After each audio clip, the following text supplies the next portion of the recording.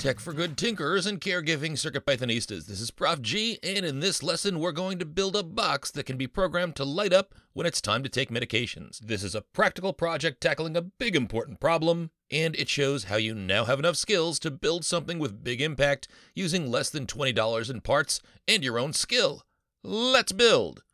Quick disclaimer this isn't meant to be an actual medical device, it's a simple demonstration project. If someone has very serious medical issues, make sure they take appropriate precautions to make sure they regularly receive their meds. The author is not responsible for any mishaps that might occur from project use. It can be tough to remember to take your medications and supplements.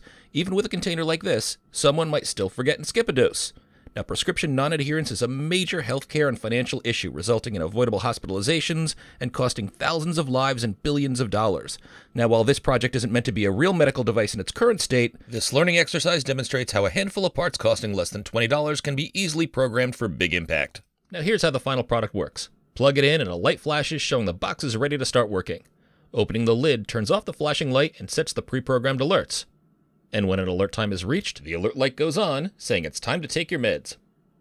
Open the lid, take your meds, and the light goes off until the next alert time is reached. Here's a wiring diagram for the parts that I'm using. I'm using pin GP14 on a Raspberry Pi Pico W for the magnetic door switch, and pin GP15 for the anode or positive leg of the LED bulb. And in an earlier lesson, we calculated that my LED bulb should also use a 100 ohm resistor. One thing worth noting, so when you're testing, I found that it was important to orient the switch properly. So I've got my wired switch portion so that the part with the holes in it is oriented vertically, like it would be attached to the box.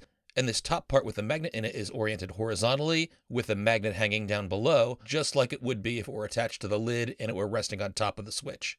Now, if you've been following our earlier CircuitPython school tutorials, you've already got enough skill to build this. So why don't you challenge yourself by putting together the parts and writing the code on your own? Then I'll show you my solution for comparison, and I'll show you how you can assemble this into a final working box build.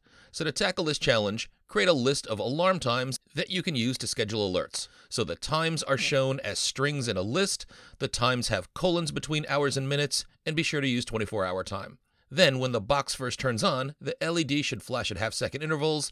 This is useful because if the power goes out, the flashing notifies the user that they might not have seen an earlier alert. Then, when the lid is open, the flashing stops and the box is armed for alerts. Alert should be set at this point so that when the next alert happens, the red light should go on and remain on until the lid is lifted up and the user takes out their meds. Now, the LED will remain turned off as the box awaits for its next alert time, and when that time's reached, the LED light will turn on again. So, this is your challenge. Why don't you pause, give this a shot, then let's resume when you're ready and we'll compare answers.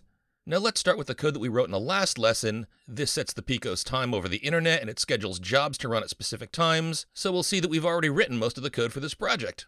I'll change my leading comment up here to say medications reminder box. And after I import board, I'm also going to import digital I.O. I'm going to need that for both the LED and for the magnetic door switch. So let's first set up the list to hold the strings for alarm times. So alarm time should be strings in 24 hour time. Examples 0 colon 00 is midnight, 12 colon 00 is noon, 11:59 p.m. is 23 colon 59. So I'll say alarm underscore times the name of my variable equals, and in brackets for now I'll just set something up for noon 12 colon 00. Then we'll set up the LED. I'll call it LED, setting this equal to digital IO dot digital in out, capital D, capital I, capital O. And in parentheses, we pass in the pin that we're using for our LED signal. That's board dot GP15 for me. Then we make sure that our digital in out is going to be an output. So we say LED dot switch underscore to underscore output, open and close parens and I'll initially turn the LED on. LED.value equals capital T true. Although I want to flash the LED when the program is first running, so I'm going to create a variable called flash, and I'm going to set that equal to true. The comment should say flash LED when program is first run, not run pending. That was Mu thinking it was helping me with code completion, but it wasn't. Then we'll set up the door sensor magnetic switch. So we'll call that door underscore sensor, setting that equal to digital IO dot digital in out with a capital D, capital I, capital O, just like above. This time we're passing in board dot GP14, and this time this is going to be an input. Remember, our magnetic switch is like a button, so we'll say door underscore sensor dot switch underscore to underscore input and in between parentheses, we need to set up our pull-up resistor. So we'll say lowercase pull equals digital IO dot pull with a capital P dot and in all caps up UP. Then our code is looking pretty good for getting time. I'm going to clean this up a little bit because I think I print out too much. That was good for testing, but I really don't need to print out my Unix time, raw offset, and location time, so I'm going to delete that. I'm also going to delete the printing of the current time right here, but I'll leave in the printable time and date. I think it's always good to have that print out when we access the time over the internet. Then I'll change our job function up here. So if this runs, I want to turn the LED on. So I'll say LED.value equals true. So that'll turn on the light. And I'm just going to print out a message that says time to take your meds. Then I'm going to delete the old scheduling of these jobs. And what I'm going to do is go through my list of alarm times. So I'll say for alarm underscore time, singular, in alarm underscore times, plural, colon. So alarm underscore times is the list that's got the list of all the different times that I should schedule alarms for. This will go through all those alarm time strings. And I'll assume these are daily alarms, so I'll set schedule dot every open and close parens dot day dot at open and close parens, and in between those parens, it's going to be alarm underscore time. That's the individual alarm time in the array of alarm times I'm going through. Dot do, and in parentheses, pass in the job. So that schedules an alarm for every day at that particular alarm time. Then I'll just print out scheduled alarm at colon curly braces, and I got to put the F out front so this, this is an F string. Alarm underscore time singular. Then I'm going to change my while true in here. I don't want to check my pending schedule yet. What I'm going to do is see if I need to flash. So that happens when the program first starts. So I'm going to say if flash colon, so that's that variable that we set up top when the program first runs, led.value equals not led.value, so that will either turn the LED on or off, and time.sleep 0.5. That's going to wait 5 seconds in between flashes. Then if the lid is lifted, if door underscore sensor dot value colon, so that's when the door is opened, on the next line we'll just say print, and I'll print out a message that says stop flash. Then set LED dot value equal to false, which will turn off the LED, and I want to set my flash variable equals to false as well to stop flashing. So again, recap, this first part here handles what to do when the program first runs, and it flashes to let the user know that it just restarted. Now remember, it keeps doing this until the door is opened.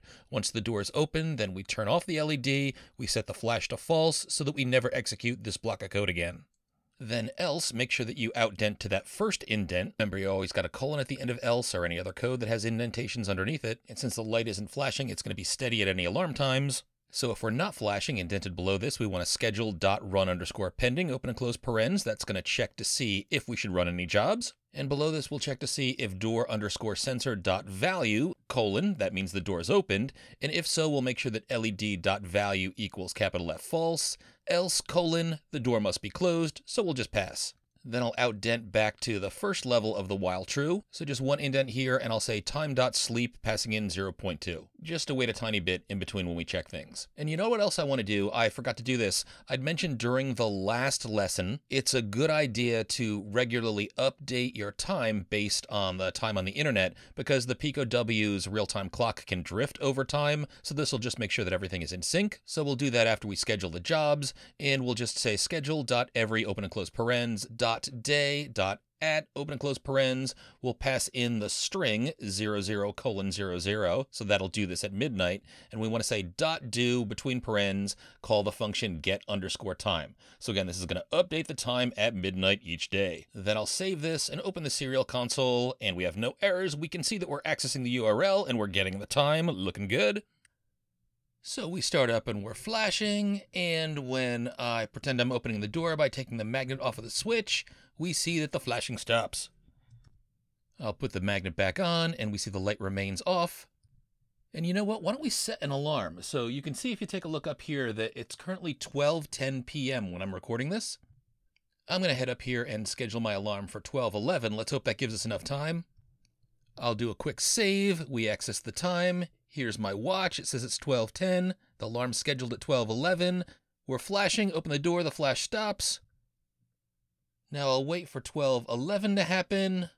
I might forward the video a bit.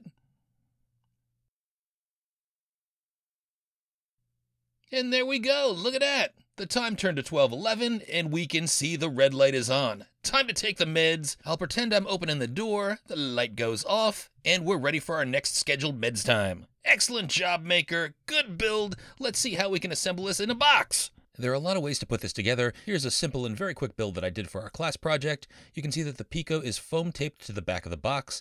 The LED and resistor are soldered directly to the Pico, as are the wires for the magnetic switch. There's a hole in the back of the box where these wires run to the magnetic switch, which is foam taped to the inside of the box. The wired switch is mounted to the side, and the magnet part of the switch is foam taped to the lid. So for the final build, you'll want a box. My students use the laser cutters in our campus makerspace to make their own wooden box with flexible lids. For the one that I'm showing here, I purchased this clear acrylic box that has a hinged lid. And you'll also want to drill a hole in the back of the box. That's where you'll thread the switch wires through.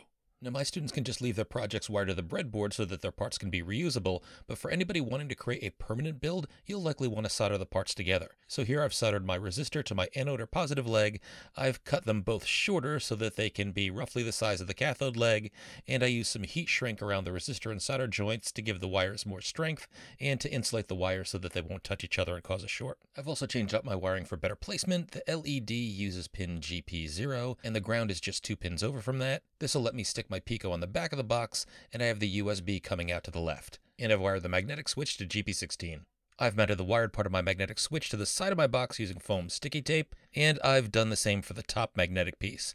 Also make sure that the two pieces line up, your magnets won't register as closed, and your magnet switch probably has a closed side, which should go forward, and the side with a hole in it should be pointed toward the back.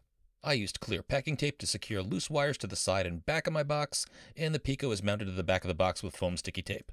And that's it. I leave my meds reminder right next to my coffee maker so that I'm sure to dose up first thing in the morning, and I can clearly see if the light is on and I forgot a dose throughout the day. So I hope you're feeling good about those skills you're acquiring. This is a solid, useful build that leverages lots of what we learned about engineering, API calls, JSON parsing, and all sorts of other maker goodness. Be sure to come back. There's lots more big learning to come. In the meantime, make something awesome.